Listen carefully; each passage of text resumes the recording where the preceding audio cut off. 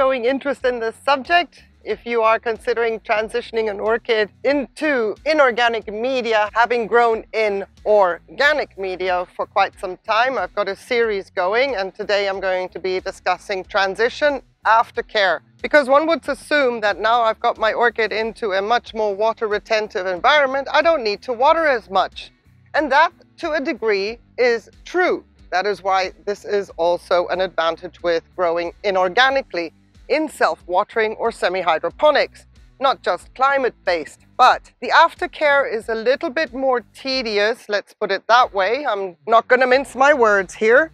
It's a little bit more tedious because we are trying to get the roots to get adapted into a more water retentive climate. We are dealing mainly with epiphytes. In a terrestrial orchid situation, it's a little bit different because terrestrials and semi-hydro self-watering just go hand in hand. But when we're dealing with epiphytes, everybody always says orchid roots need to dry out. There's a wet-dry cycle. That is what they're accustomed to out in nature, being epiphytes. There's a lot of air movement and airflow around their roots. And yes, that is true. Growing out in nature, up in trees, on cliff rocks, or anywhere else, that is exactly what the roots are accustomed to, a wet-dry cycle. However, when you are transitioning into another media, inorganic, no matter what type of inorganic media, in my case it's leca and pumice, and to some degree lava rock, the whole environment of the pot is much, much wetter. So the thing with air around roots is there's oxygen. And what we're trying to do in our transition process is get roots to adapt to a wetter environment. And how do we provide oxygen to the roots, be they new roots or somewhat older established roots, while new roots grow, is to provide a lot of water because it is H2O. There is oxygen in water and basically that is how we can provide a lot of oxygen to the roots even though we don't have the airflow as per a wet-dry cycle out in nature. And that is why when it comes to transitioning, the first six weeks, maybe eight weeks, depending on the time of year, are quite important to keep your orchid roots that are growing, let's say enthusiastic about staying in the pot, staying healthy, or growing in the pot. Because one thing that we do as well when we pour water into the pot, even though it is full of fresh oxygen, is gravity. So as we water the orchid from the top, and the water draws all the way down and through and out, gravity itself also pulls fresh air and oxygen into the pot. So we're keeping a clean cycle. Remember that this is only in the beginning phases after an orchid is established. Usually the flushing then is a regular thing between fertilizing so that we don't have salt accumulation on the pots. Right now, the care of transitioning an orchid, the focus being the aftercare, is keeping oxygen flow going through the pot and using gravity to our advantage. This little Leptotes bicolor is new to my collection and I used it as an example of how to transition an orchid, when to transition an orchid into inorganic media. You can see she's starting a new growth. That is so cool. The roots that we had in the beginning while they were starting to grow, they're still looking green, even though one might say, well, that's algae. No, that is not all algae. To some degree it is, but they are green. If they were dead, they would be brown, like there's one right there in the middle. That's a dead one, at least at the surface. We don't know how it's faring in the pot, but I have no problem with occasional collateral damage of some roots that will fail throughout the transition process, like an 80-20% ratio. So you see, I'm trying to keep my leca away from the base because aftercare transition as well is to keep the base aerated. We don't want rot around there because we're using a lot of water. So I make sure that my base is clear and free. I make sure my new growths are clear and free as well. And then no matter the time of year, I pour water into this pot every third day. And I do it from all sides. Now, you can say, how much water do I need? That is relative to the size of the pot, but as long as you can see how abundant it is, that is all you need. You're adding oxygen to the pot and you're using gravity to pull air through it. And I've got here two liters, just plain RO water. The pre-transition care has been taken care of. I don't want to compromise any new roots growing or any roots that are in the pot right now by adding fertilizer at this point in time. That all has been done prior to potting the orchid up. Right now, it is all about getting oxygen and air through the pot. And every third day is best practice. Some people are heading into spring every third day. It matters not.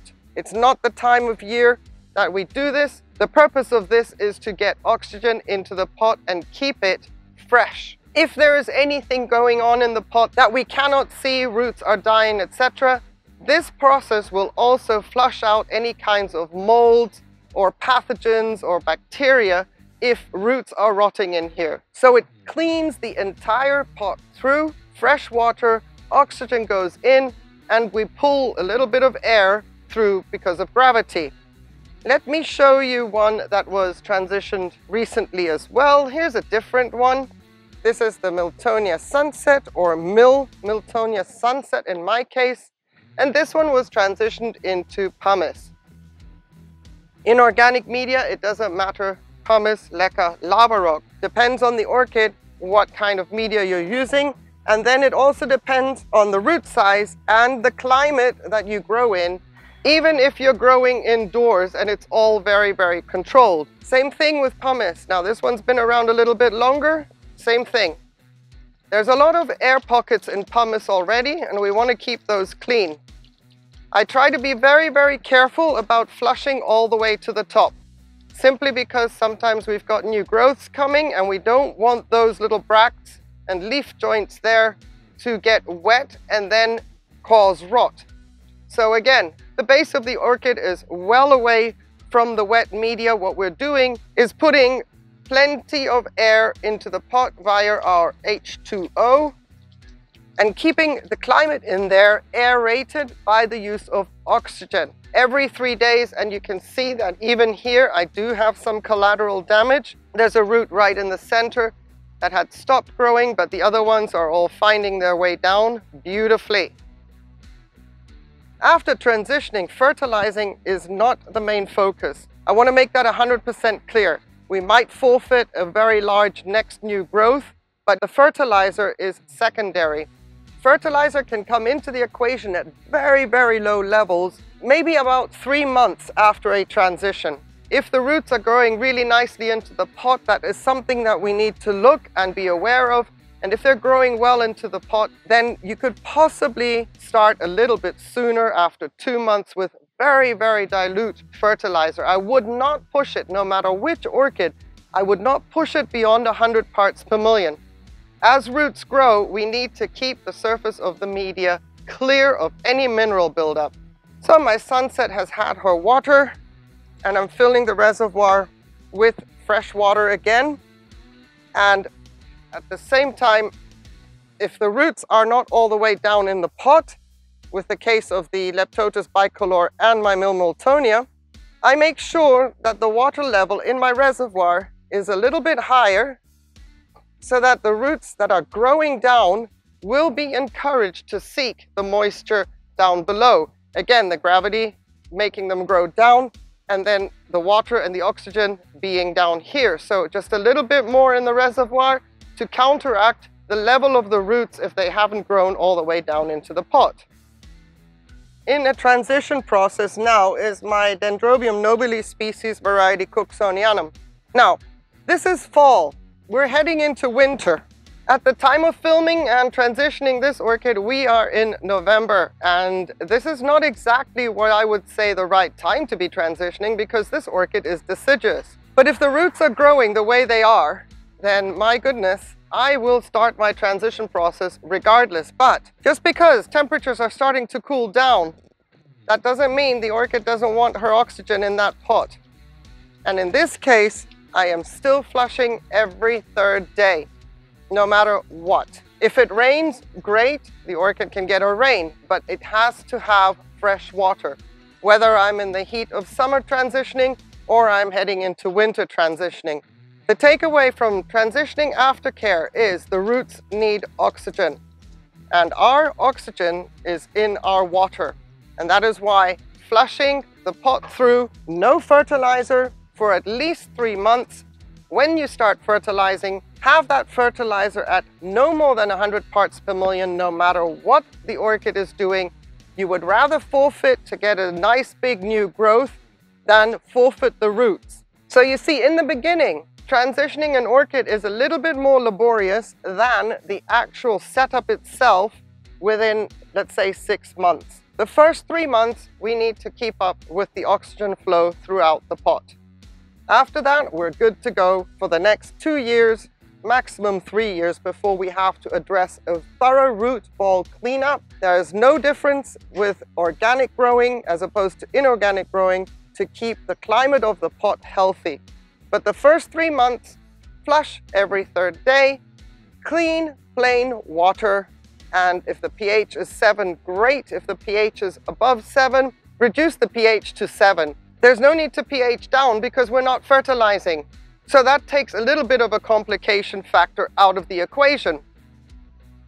Keep the base of the orchid above the media, let the roots find their way in, and do not flush all the way up to the top of the base because we don't want that to rot out. We want the airflow all the way across just to make sure that what we're focusing on is happening in the pot. I hope that this was helpful. I hope that anybody who is in the process of transitioning an orchid found this video useful and informative. And if you have any questions beyond what I've just spoken about and what the aftercare is with regards to the first three months, then please feel free to address those in the comments below be very, very happy to answer any specific examples of orchids that you might be having in your collection. Root size doesn't matter. Any kind of inorganic media does not matter. Pot size does not matter. Time of year does not matter. What matters is oxygen into the pot. And for us, in this setup, self-watering and semi-hydro, hydroponics in general, it is the water that brings the oxygen into the pots. Thank you very much for watching. Your time is appreciated. Have yourselves a beautiful, beautiful day on one condition, that you stay safe. Please take care. Bye.